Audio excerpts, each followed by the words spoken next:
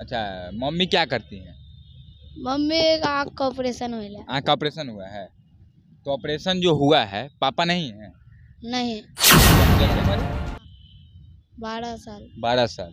हाँ। और कितने साल से पानी बेच रहे हो? वढ़ने का मन नहीं करता है तो बाकी बच्चों को देखते हो पढ़ते हुए तो। करता है पर घर में पैसा नहीं है क- हम जाएँगे पढ़ने तो कौन कमा के देगा? मतलब रोज पानी बेच के कमा लेते हो। तीन सौ चार सौ। तीन सौ चार सौ रोज कमा लेते हो? ढाई साल का था तब से पानी बेच रहा है। पहले बैलून बेचते थे सात साल से। हाँ। दस साल के हो गए थे पानी बेच रहा है। मतलब पहले बैलून बेचे थे। नमस्कार मेरा नाम अभय कुमार है और आप अब जनता बोलेगी न्यूज़ देख रहे हैं। देखिए पटना के गांधी मैदान में हैं और बैठे हुए थे हम लोग इसी बेंच पे। तब एक बच्चा जा रहा था यही वह लड़का है और इसके माथे पे वह डब्बा था। दिखाइए इस डब्बे को। और इस डब्बे में पानी है। तो जा रहा था और जितने भी लोग बैठे हुए होते हैं उनसे कहता है क्या कहते हो बाबू? जो लोग बैठे होते हैं वहाँ जा क्या कहते हो? पानी बोतल। पानी बोतल। तो इसने मेरे पास आया तो पानी बोतल कहा तो मैंने इसके मुँह पे देखा तो एज बहुत कम है और इस उम्र में कुछ करना पड़ रहा है यानी कमाना पड़ रहा है। मैंने सोचा इन चीज़ों को आपको दिखाना चाहिए। हालाँकि मैं पानी मेरे पास था इसके बावजूद मैं एक बोतल खरीद लूँगा। उससे ज़्यादा एबिलिटी मेरी नहीं है कि इसकी इसके पढ़ाने का खर्च उठा- सकूँ। मेरे पास उतना तो एबिलिटी नहीं है लेकिन हाँ सरकार अगर चाहे तो इन सभी बच्चों को पढ़ा सकती है। क्या नाम है तुम्हारा? अनिकेत। अनिकेत घर कहाँ है? मंदिरी। मंदिरी कहाँ? पुलिस लाइन नाला के पीछे। मतलब पटना में ही ना है? हाँ। पटना में। तो पटना में रहते हो कौन कौन है तुम्हारे परिवार में? बहन मम्मी हम। तीन ही लोग हो? हाँ। अच्छा मम्मी क्या करती हैं? मम्मी का आँख का ऑपरेशन हुआ आँख का ऑपरेशन हुआ है। तो ऑपरेशन जो हुआ है पापा नहीं है? नहीं। पापा गुजर गए हैं। हाँ।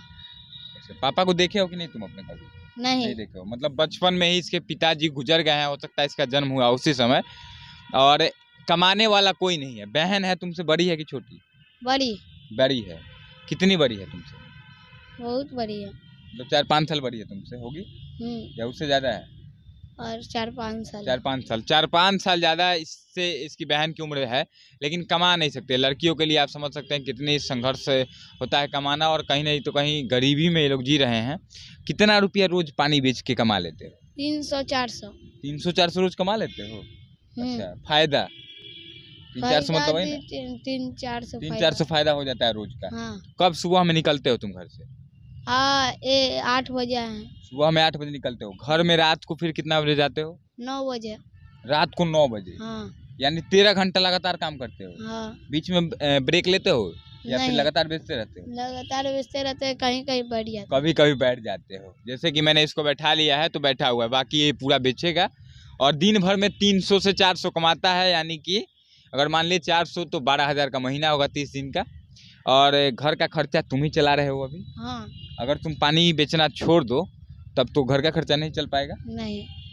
और पढ़ने वढ़ने का मन नहीं करता है तो बाकी बच्चों को देखते हो पढ़ते हुए तो? करता है पर घर में पैसा नहीं है हम जाएँगे पढ़ने तो कौन कमा के देगा? मतलब पढ़ने जाओगे तो फिर घर नहीं चल पाएगा तुम्हारा? नहीं। इस वजह से काम कर रहे हो? हाँ। उम्र कितनी है तुम्हारी?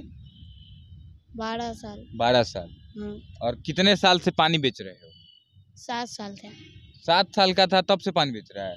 पहले बैलून बेचते थे सात साल से। हाँ। दस साल के हो गए थे पानी बेच रहे हैं। मतलब पहले बैलून बेचते थे। कहाँ बेचते थे बैलून? गोलघर। गोलघर पटना गोलघर? हाँ। अच्छा बैलून भी बेचते थे तो उसमें ज़्यादा फ़ायदा नहीं होता था क्या कि पानी बेचने पर? नहीं। हाँ उतना ज़्यादा। नहीं होता था। नहीं होता था। हाँ, बैलून के शौकीन लोग कम हो गए हैं जिसकी वजह से कम बिकता था ना? हाँ आज भी है बहुत बैलून फुट वो करता फूट जाता था नुकसान भी हो जाता था। हाँ। पानी बेचने को तुमको कौन सिखाया? हम अपने से देख के सीखे हैं। खुद से दिमाग में आया कि पानी बेचेंगे तो ज़्यादा फ़ायदा होगा मेरा घर परिवार ठीक से चल पाएगा। हाँ। अच्छा। अब देखिए बारह साल उम्र है और घर में कमाने वाला कोई नहीं है। मम्मी पाप मम्मी है बहन है और ये तीन लोग हैं और कमाने वाला कोई नहीं है। राशन वाशन घर पे मिलता है सरकार की तरफ़ से? नहीं। राशन नहीं मिलता है? तो सब कुछ जो कमाते हैं उसी पैसे से आता है। हम्म, सोचिए, अब मुझे नहीं पता कितना सच्चाई है इसकी बातों में, लेकिन कह रहा नहीं मिलता। बारह हज़ार के आसपास से मंथली का कमा लेता है पानी बेच करके। हालाँकि मजबूरी है इस लड़के की और दिखाने का मेरा मकसद यही था कि मजबूरी में जो छोटे छोटे बच्चे हैं, हालाँकि अच्छा है कि इसके पास जब साधन नहीं है, कमा कमाने का कोशिश कर रहा है। हालाँकि बहुत सारे बच्चे बेवजह भीख मांगने का काम करते हैं, जिनको मंगवाया भी जाता है। किडनेप करके कई सारे बच्चों को भीख मंगवाया जाता है, लेकिन बेचारा कमा रहा है और मजबूरी है।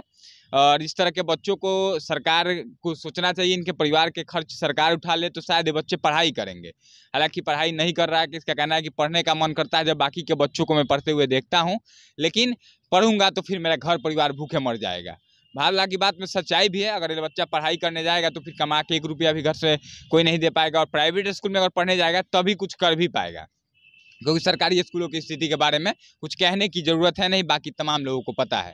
हालाँकि आप सबकी क्या राय है ऐसे ऐसे बच्चों के लिए सरकार को कदम उठाना चाहिए या नहीं, आप सबकी अपनी राय जो है कमेंट बॉक्स में ज़रूर लिखिएगा। इस वीडियो को ज़्यादा से ज़्यादा शेयर कीजिएगा।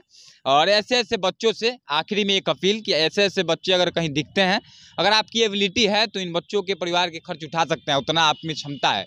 उठाइए और इन बच्चों को पढ़ाने का खर्च उठाइए।